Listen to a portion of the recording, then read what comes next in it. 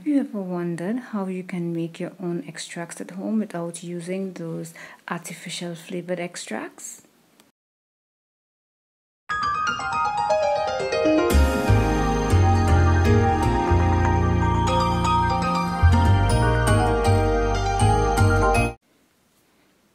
Firstly, let's begin by going to get some mints. But firstly, I want to show you my soursop the soursop mukbang that you just saw that's where I picked the soursop from right outside my front door now let's go down with the escort from my lovely companions my four dogs we have some plantains as you can see growing there and I had some spinach and some pigeon peas growing. I have a lot of stuff in my little garden. Thanks be to God Almighty.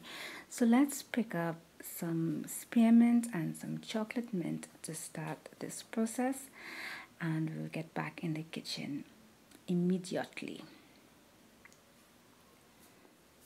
So now before we start with the mints we're going to use some orange peel that I orange that I cut and I just placed them in the sun to dry and I have them there to make extracts or tea you know a good cooling so I'm going to use this small jar I'm going to use 8 to 10 tablespoons of vodka.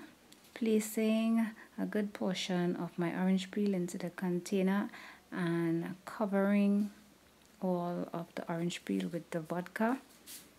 And placing a lid on it and I'm going to set that aside for four weeks. Basically I'm letting it sit for a month. And the same thing we are going to do with the spearmint and the chocolate mint. I wash them thoroughly because I mean they're outside in the yard dust you know. So I wash them thoroughly place them in the same container and I'm placing the same amount of vodka to cover them make sure they are totally covered in the vodka. You could add any type of alcohol that you see fit but any type of vodka sorry not any type of alcohol. And also the same amount of time one month and one month later this is what it looks like.